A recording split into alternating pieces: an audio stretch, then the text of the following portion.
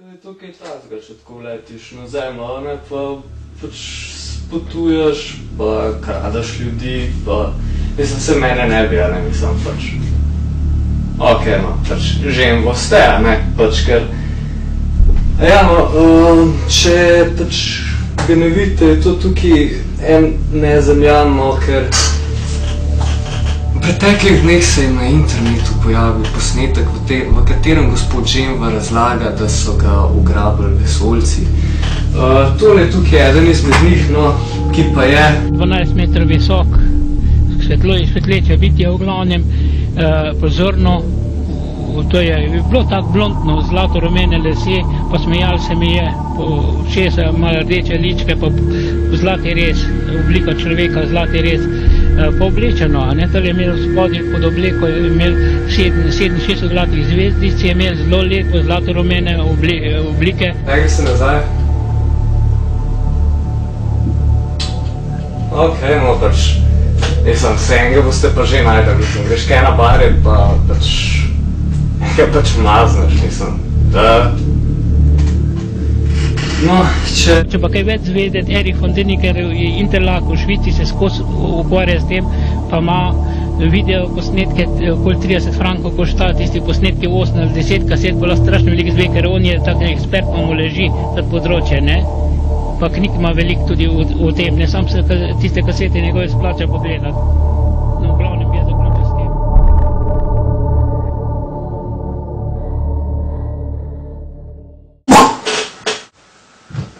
No, v glavnem, tisto prej je bila majhna šala na gospoda Žembo in na vse, ki verjamejo seveda v vesoljce.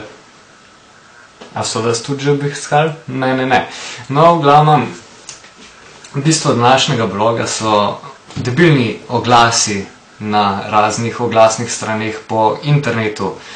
Tako sem zasledil na eni izmed strani, da človek prodaja Ray-Ban Aviator sončna očala. Verjetno vsi veste, kakšna to, tiste, ki jih ima Horejšo Kane. Yeah! No, v glavnem, fora je v tem, da jih je zadev na nagradni igri, prodaja pa jih za 110 evrov. No, meni ne bi bilo nič nenavadnega, če bi kupil očala in bi jih potem prodajal. Tako jih je pa pač nekako dubo in bi se spodobili, da bi jih tudi naprej, se pravi, dal, ne pa prodal. V glavnem, če vas v glas zanima 110 evrov, cena ugodna, ponovadi so 200. No, potem je tukaj še nov zanimiv glas in sicer bivši avto Chucka Norrisa, sicer Dodge Ram z 350 kW moči oziroma 477 konji. No, kot v oglasu piše, lastnik vozila je bil osebno Chuck Norris, vozilo je lepo ohranjeno, saj se nihče ni hotel zaleteti vanga. Avto ima tudi kljuko, kakršno je nosil kapitan kljuka na roki. Ja. Oh, ja, no, v glavnem, neki, neki tak čuden oglas, v glavnem, avto podajem zaradi finančne stiske, saj me je prasec na pi, da žere samo 15 litrov, zdaj jih pa 32. No, v glavnem, zdaj ne vem, ali je ta oglas resničen ali ni, od spodaj je številka sicer očak Norisa, če vas zanima, ga pokličite, avto pa stane 8990 evrov. No, potem vam bom tudi predstavil med, med drugim debilne stvari, ki jih tudi najdeš na internetu, pa niso ameriške, ampak so kar lepo slovenske. No? Uh, in sicer nek uporabnik strani Sklop je napisal, da ga zanima, če je kdo štromer na forumu. Zastavil pa je naslednje vprašanje. Kako bi naperil 1,5 kW moči, um, ki bi držali 12 ur dnevno v neko brunarco odročno nekje sred goza.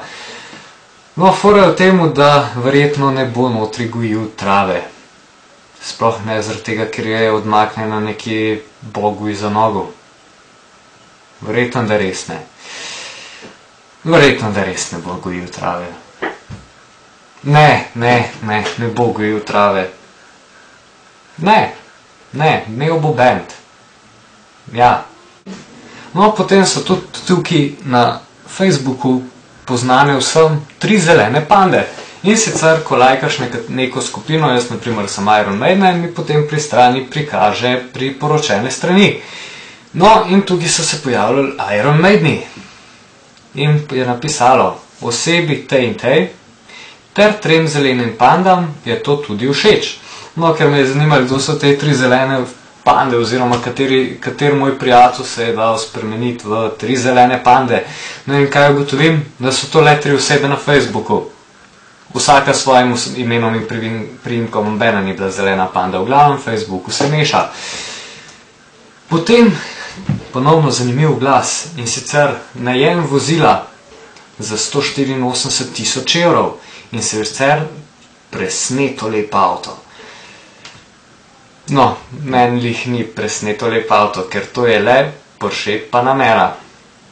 Malo so ga felali pri Porscheju. Ampak je pa presneto lep avto.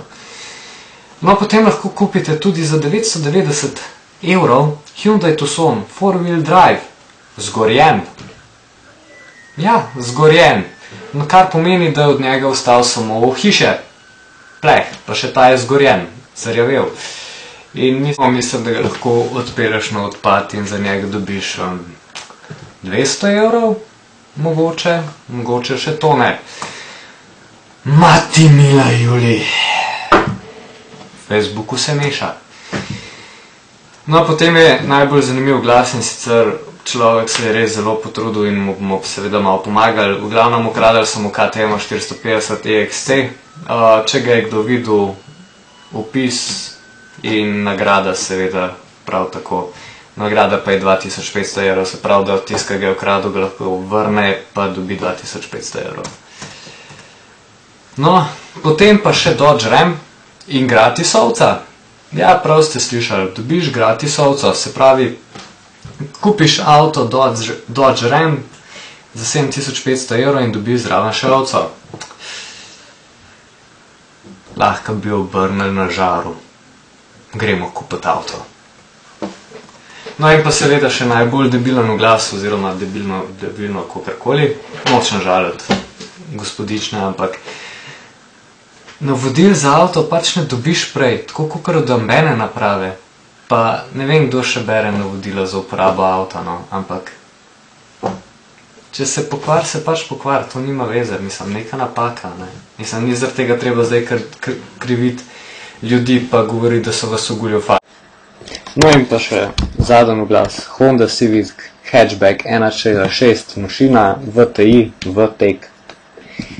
Strašno huda Honda. No, v glavnem, tako strašno spet huda ni, zaradi tega, ker ima 350 tisoč km. Ampak na števcu piše, da so jih zbili na 210 tisoč, verjetno z vzvratno vožnjo po parkirišču cel dan. To pa je šlo enega benzina za brez veze. Ne vem, ne vem, jaz ne bi tega počel. No, v glavnem, vrata se odpirajo tako kot pri Lambotu, uh, letel je čez pločnik, ampak avto je za ugodno ceno 2399 evrov. Em, jaz bi ga kupil, če bi imel denar, ampak ga ne bom, ker se mi zdi malo preveč prerjaven, kot tukaj ne vidim. Ja, mečkan je rjav, nič posebenega. Izbira je vaša, prepustim, da ga vi kupite. No, to je bilo za danes vse, oziroma za ta najnovejši blog na kracalniku. Vlog na kracalniku. Uh, verjetno, da bo v prihodnjih dneh prišel ali pa čez kakšen mesec spet še kakšen nov vlog. Uh, obljubil sem sicer, da bom za prvi vlog posnel, uh, kako me je nategnil klošar in pri čemer sem izgubil 3 evre. 3 evre sem izgubil. Ne vem, kaj mi je bilo v glavnem. Več o prihodnem vlogu. Pa nasvidenje in lep večer še naprej.